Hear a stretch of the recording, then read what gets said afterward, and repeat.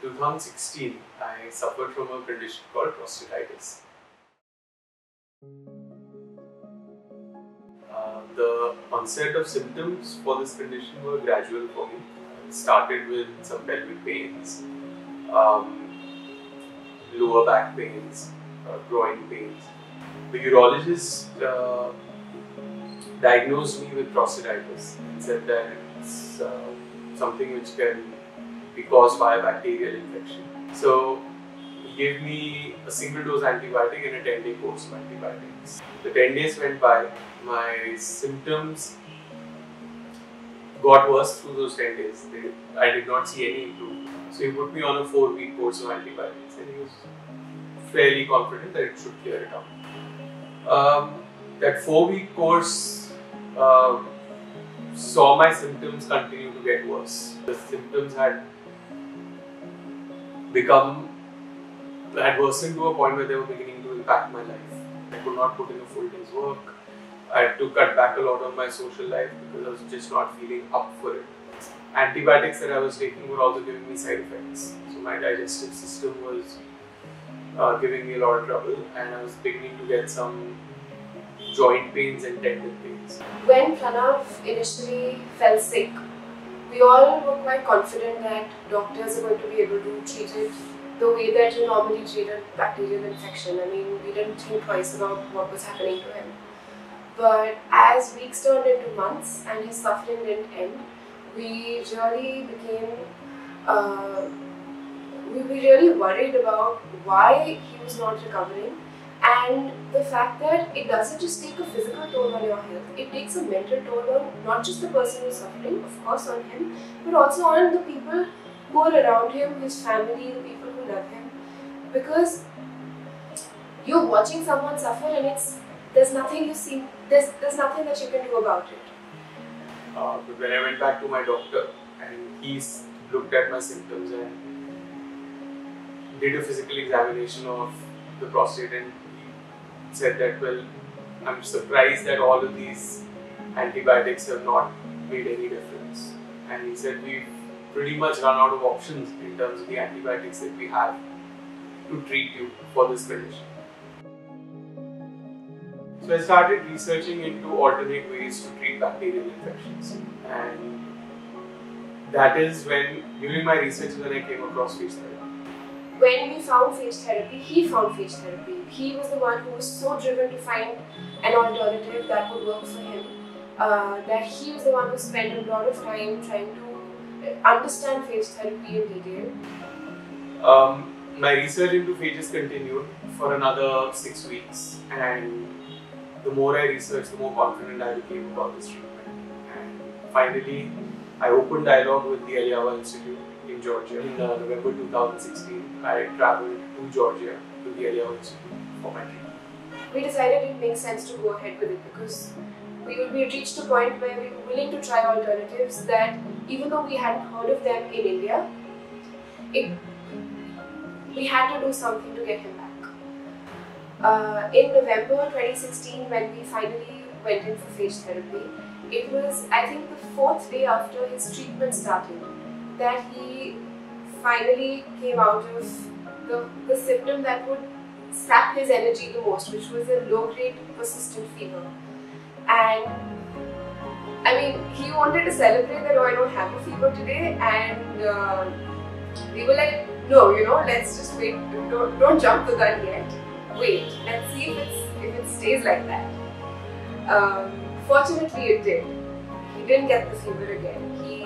Started getting better um, gradually, but surely he was getting better. My last course of treatment finished in February 2018, and by the time my last course of treatment finished, my symptoms were all gone, and it was very liberating because I could start living life again the way I used to live. Um, so, in the summer of 2018, I could travel with my wife and did another trip with the extended family. So I could travel, I could drive, I could take road trips, which I love doing.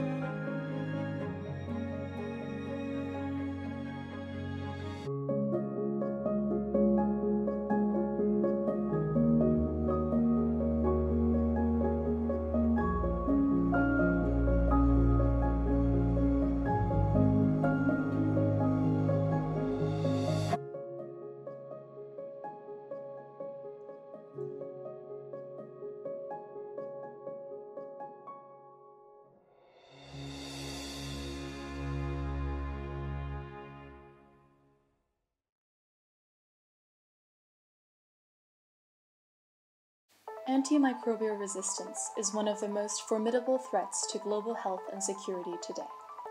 The United Nations Interagency Coordination Group on Antimicrobial Resistance estimates that by the year 2030, 24 million people worldwide could be driven into extreme poverty as a result of AMR and its effects on health and development.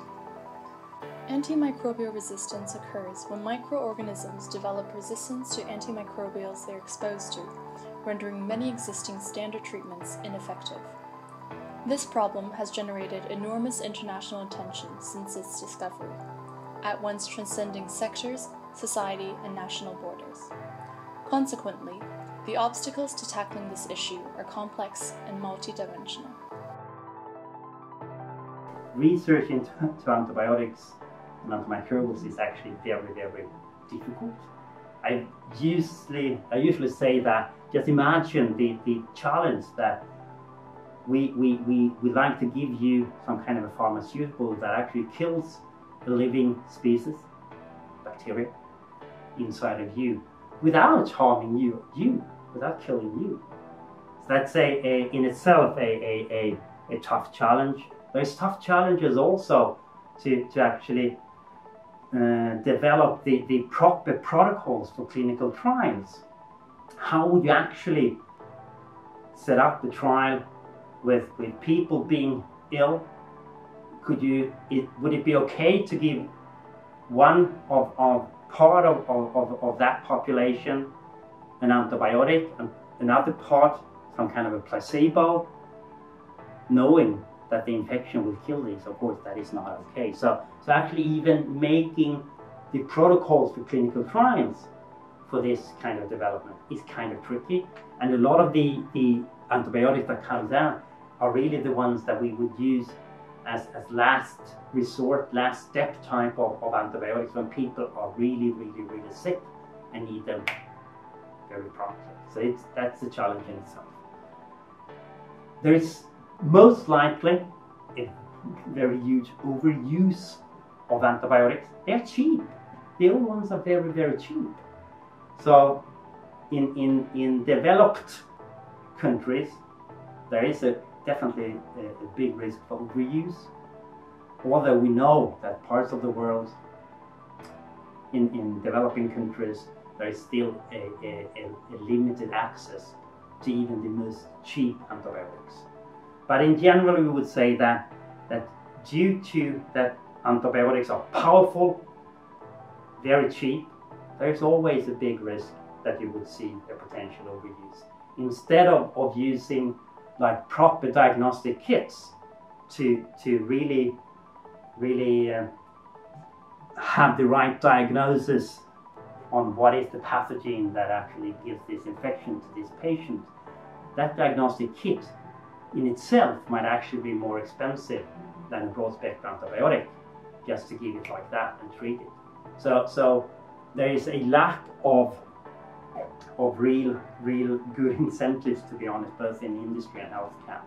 But also, I would say there is a tremendous challenge on the, let's call that, on the more global scale, on political scale, that, that different countries do not really trust one another either to be able to have a responsible use of, of the, let's say, new antibiotic coming in. Uh, we know that some countries already, oh, still today, I would say, antibiotics are prescription free.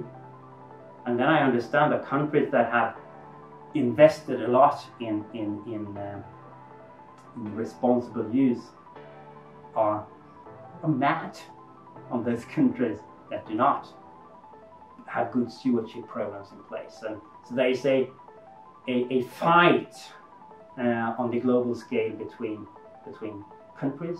It's very tough for, for institutions like UN and others to, to go in there and, and manage this. So that's a, a challenge in itself. And probably the, the same challenge as everyone was is aware of when it comes to global warming, which is also a huge threat to public health, is there with, with, with AMR.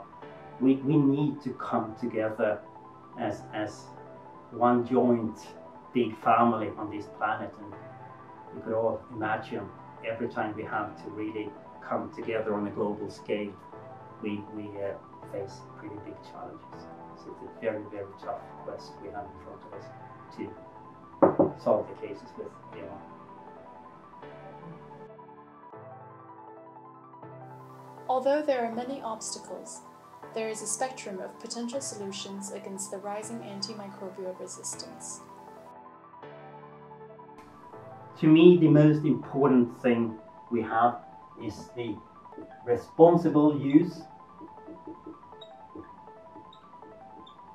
of the of the antimicrobials, or the antibiotics, and the other uh, treatments that we have. And, and responsible use actually means a very, very restricted use, both in animals and in humans. And responsible use actually, to, to be able to, to get there, we need working systems on surveillance and monitoring to understand the, the resistance patterns, different markets, what could actually be used and what will not be able to use to treat a specific infection. And I would say that surveillance systems need to be developed across the globe. There are good examples in a number of, of countries, but a lot of, of this knowledge that comes from, from good surveillance programs is actually not there. And actually, the, the best way to, to decrease the, the, the use or to limit the use of antibiotics and, and other antimicrobials, of course, is if we could, could decrease the infection pressure in society so people do not get ill. So, so whatever we could do to prevent infections is extremely valuable. And uh, one of the strongest tools that we have, of course, is vaccines. Uh, but in general, I would say that hygiene and sanitation is extremely valuable too.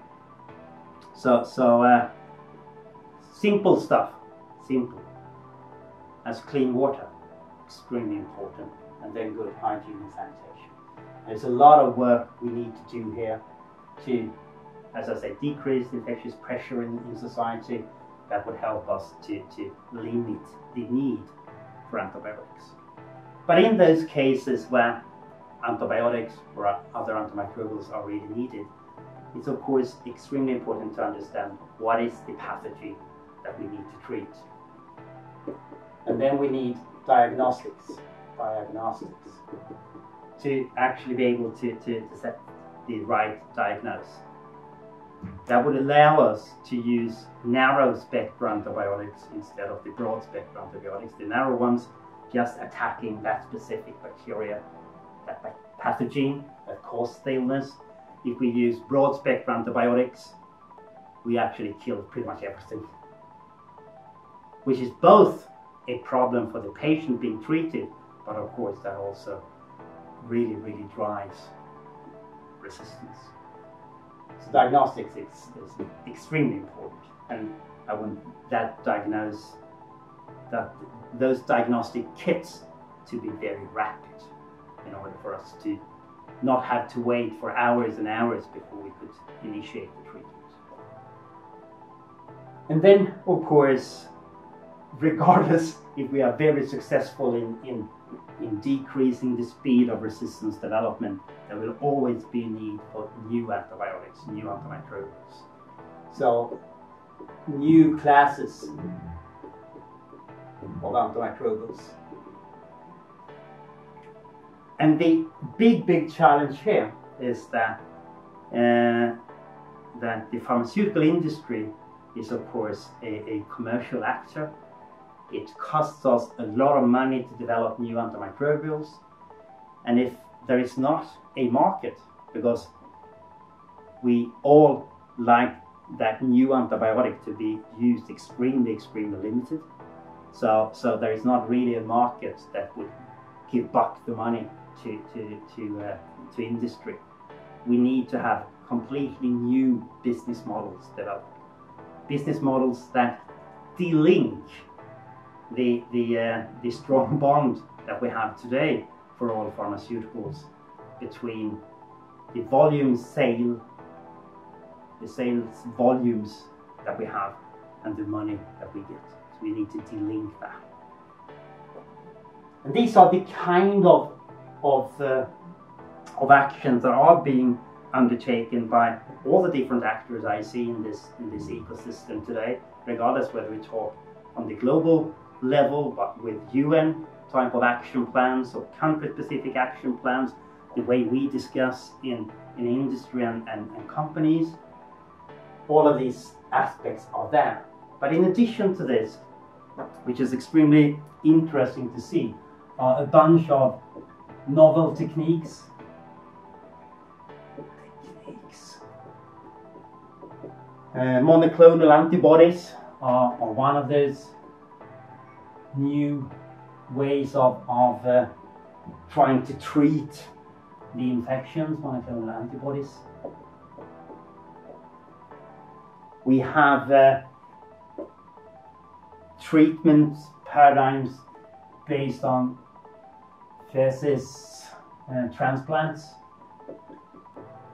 that could especially be extremely important after a, a uh, treatment with, with especially broad spectrum type of antibiotics.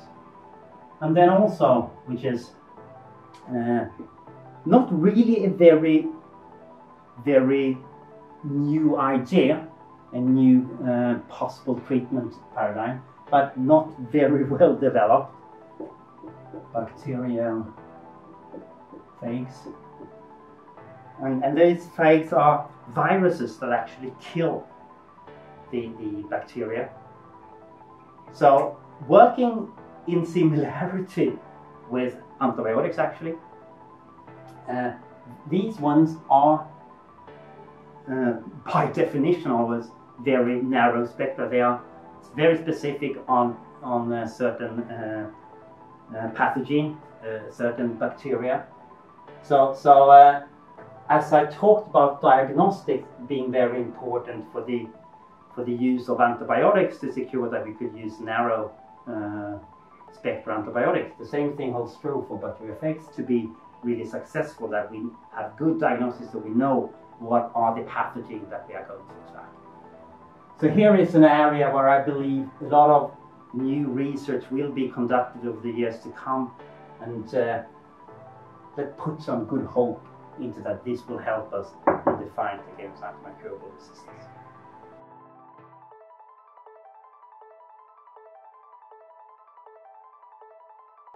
Bacteriophages are viruses that only attack bacteria and not our own cells.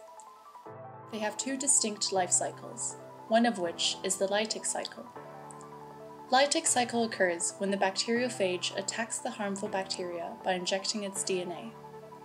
Inside the bacteria, new phages are assembled using the host cell's machinery. The overloaded phages proceed to cause the burst, or lysis, of the bacteria. Newly formed phages are then released and the cycle repeats. However, the translation of theory into reality will always be met with practical challenges. Uh, so the main challenges uh, with phage therapy is uh, primarily uh, from uh, the regulatory point of view that um, you need to give them as um, combination therapy and that means you have to approve a lot of individual phages and also whether they can be used in a cocktail. And this is not really uh, similar to any other product that's being approved by regulatory authorities. So I think for that reason, a, a new mechanism needs to be developed for phages. If you take uh, regulations, they phages might be considered as a medicinal product so, so it's sort of not uh, treated as as uh, a medicine. I mean, the, the legislation is quite rigid, so you can't. Some some advocate that that you can use phages as a medicinal product, and some say that okay, if it's going if it's going to be used on a broader scale, then we need to change the regulation a bit because they've um, it's live material. It, I mean, they change, uh, they mutate, uh, they recombine. So you, you can't be sure that, that you have a well-defined substance when you when you treat the patient because it might have changed since the last time. So it's it's quite tricky with with, with phages to, to make them or, or to classify them properly and, and to, to sort of squeeze them into the, the contemporary uh, regulations that we have. One of the challenges with phage therapy is that many people consider that it's not really novel. So they consider that it's something which is, has been around for a long time, and they fail to acknowledge that although it has been used, it has not been used or approached in the way that we need to approach it uh, in order for this to become a regular antimicrobial. So I think that actually hampers things, that uh, it's not fully understood that although there is uh, experience, clinical experience, this is not sufficient. So there needs to be more uh, preclinical studies, there needs to be animal models, there needs to be a lot of things. And this has been sometimes difficult to get the message through that yes, okay, this is not entirely new, but using them systematically in fact is new. It's also lack of, of, uh, of basic research and people are trying to do shortcuts. They are trying to jump directly into phage therapy. And, but I think we need to understand more about how to use them properly instead of just uh, saying, well, let's, let's start using them, uh, uh, which some people do. Because I think if we do that, we will not really learn from the mistakes and, and we should approach this problem in the same way as we would do with another antimicrobial, which we would never allow on the market as a trial or an error concept. And I think we clearly have to stop pretending that this is just old news, because uh, the, this new way of using them, dosing them properly, is definitely not old news. This is a, a, a completely new approach, but using an old concept.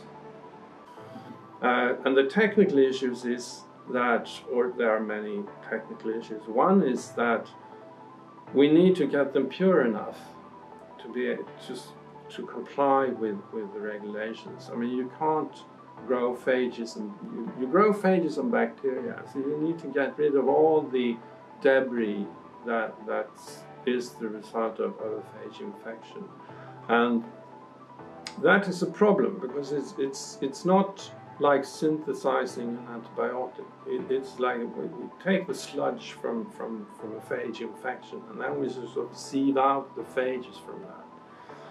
And do so without getting all the endotoxins and, and exotoxins that, that follows with it. So we need to, to have methods that, that purify phages to, to, to, to clinical standard. And we're not, we can do that today, but, but then we also lose quite a lot of phages. So the titre of the, the, the phage, uh, sort of the phage that we treat with, the titre becomes too low. So there, that's one of the technical issues. The other one is that we, we're not, I mean, since, since they are consist of proteins, you can't swallow phages uh, and expect them to reach your intestines because they, they, I mean, they're proteins, they get broken down. So it's, it's like food. I mean, we break down proteins every day. So that's also one of the technical issues that, that we have. And uh, from the pharmaceutical company point of view, it's also quite a number of challenges because uh, phages are not like, first of all, you use them in combination therapy. You use maybe five or six phages. And uh, even uh, in the individual case, uh, the, the, the composition you give of phages will depend on which strain you are trying to combat. So it's more or less like a customized uh, uh, treatment.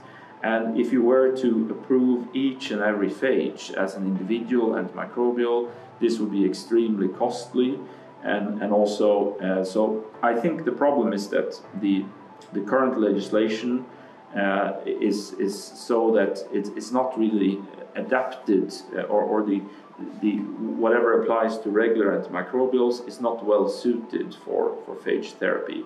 So one rather needs to find maybe a mechanism by which you can approve uh, groups of phages as soon as they have uh, shown to be safe to administer to, to patients. And then uh, it will have to be some um, uh, maybe prepared by pharmacies uh, in the individual case. Because if you go for a fixed combination of phages, you may see that it will in many situations not be a good combo. Because it will only uh, you will end up maybe uh, in many cases just having one or two of the phages in your cocktail which is active against the strain you're trying to kill. And that's not enough. You need all of them to be active and that's why you need this flexibility that you actually customize the product so it's, it's like personalized medicine if you like uh, trying to target specifically those bacteria and that's where we need uh, some other um, kind of, of uh, um, approach to it. Uh, I think there is also the problem that for uh, pharmaceutical industry, it's not clear how they could make money from this. Uh, so even that is something that needs to be looked into. Some people are working on uh, synthetic phages, where you use phages as a delivery system of another antimicrobial. This might be easier uh, from a pharmaceutical point of view because it can actually then uh, lead to um, a situation where you can say uh, that this should be more or less regarded like, like a new drug. But the traditional phage therapy, uh, the phages you can isolate from the environment and from, uh, from, from fecal samples and so on. So, and, and anyone with knowledge can do that.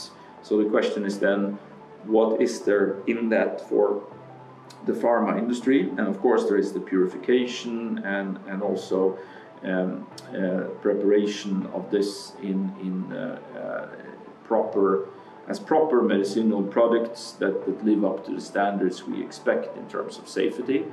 But how you could do that and still make money for it when you need to do, in fact, many individual phage solutions that you can combine as uh, you require, that's, that's a bit of the challenge because they need to keep up so many different products and, and so many lines of, of phages to be successful. So if one company just has uh, 10 different phages, that will not be enough. We have seen phage therapy work in, in, in many cases, but we've also seen uh, clinical trials that uh, haven't shown any any efficacy. Uh, they've been around, say, 25 40% of, of the uh, patients uh, have been cured, uh, which is quite a low number. Um, so the, the problem with, with clinical phage therapy is that, that you need to, to take these uh, sort of the, what it's called is, is pharmacokinetics and pharmacodynamics. You need to take those into account because they have very special pharmacokinetics and pharmacodynamics, and you need to sort of know a little bit about what's going on uh, when you administer phages to, to, patients. And I think that the clinical trials that we've seen hasn't used uh, enough phages. I mean, they've had too low titers of phage to be able to cure the, the infections. That's one thing. Uh, but they've also not uh, been aware probably of the importance of the ad adsorption rate of the phage. I mean, if you have a nasty phage, a very sort of virulent phage, or if you have a, a phage that's only sort of mildly infecting the bacteria, that, that makes a very big difference between different phages. Another problem is uh, how to do um, rapid uh, testing of phage susceptibility in acute infections. Because uh, if you use it just empirically without knowing, you might end up uh, with selecting for phage resistance because maybe just a few of the phages in your cocktail is actually susceptible. Nevertheless, the future waits. phage therapy still has a role to play in tomorrow's healthcare. I think the potential for me as a phage scientist, it's been, and I think that there's a consensus that this does work. So that's that's not the issue. But I think the potential is actually realizing it's becoming reality for one very unfortunate reason that now we actually need it more than ever. The, the rapid and extensive uh, increase in the multi-drug resistant bacteria and in, in, the infections and the mortality um, connected to it, that has made people more open-minded. Fortunate and unfortunate both, but I think that that that is one of the reasons why the potential that has always been there can actually become reality. There was a 10 years time when there was a lot of talk but nothing happening. But it, it takes more than the willpower of researchers. So so i think that that that is the main main thing that's happening now that that people who are sitting on the money and who have the power of deciding and, and allowing new new ways of doing things uh, to to come that I think that that that is very important. Um, about phage's potential, I think that one very interesting um, uh, interesting branch of it is also to start using modified phages because um, as the technologies have been quite rapidly um, improving in the recent years that enables and allows a lot more sophisticated um, uh, means of improving the phages so that we can quite simply improve the characteristics um, of the phage products. So that is also something uh, that we will we will see in the future. Well, I think it's it's modern healthcare, as I've said before. It's it's uh, once the the antimicrobial resistance among uh, bacteria goes up.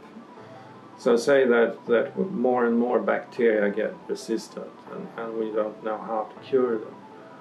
Then phage therapy might be an alternative and we have to focus on how can we get it more effective.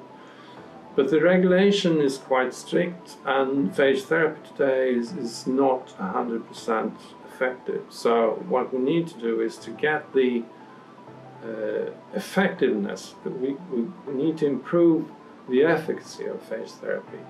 Uh, and we also need to, to, to uh, do that by more research into the pharmacology, into the pharmacokinetics and pharmacodynamics when you use phages.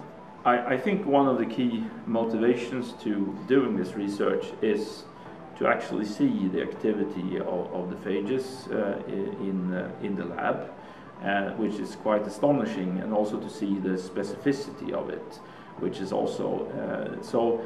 To me, it's a matter of a number of solving a, a number of difficult uh, practical problems, but it would be definitely worthwhile doing that because I think we need these um, uh, as as uh, drugs and I think it's the challenges that exist are possible to solve, but we need maybe to think in another way than we have done in the past. I think personally, one of the very exciting things with the phages is that you can, uh, and where I think they are most well suited, is actually for preventing infections. Because if, if people carry bacteria that you know are prone to cause infections, then you can actually decolonize those individuals and you can reduce their, uh, their likelihood of having uh, infections. Possibly you can also combine phages with tra traditional antimicrobials. Uh, I think one of the key problems is if you have very acute infections, you might not be able to use phages because they usually need to be tested in advance and then you need a very rapid test system to see if the, the, the phage cocktail you have taken out is actually appropriate. But I think it's um, the, the, the well the, the power of these uh, uh, um, uh, natural products is, is really uh, quite astonishing, I think, and um, uh, regardless of, of the challenges ahead, uh, one still has to just uh, as a researcher appreciate that this uh, could definitely be a very good uh, tool for us. Uh, of course, it could be misused as anything else, and we should not underestimate the challenges but we should also not give up very easily because uh, uh, there are maybe not that many great alternatives. We do have some other antimicrobials entering the market, but usually there is also resistance developing to, to these uh, uh new uh, compounds and they are really not uh, extremely innovative in, in the targets they have. So they are more or less drugs working in a similar way as other antimicrobials which bacteria already have developed resistance to.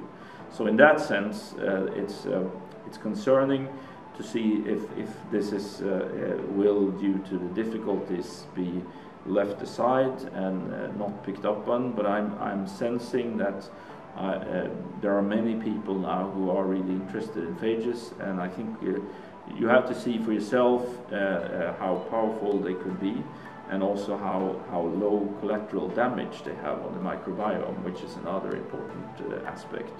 And when you see this, I think you can just not uh, stop being excited about their uh, potential.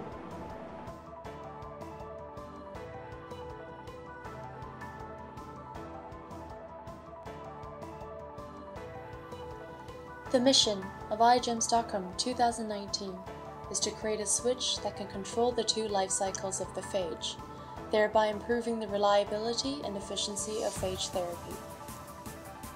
Named after the great female scientist Esther Lederberg, we present to you Esther.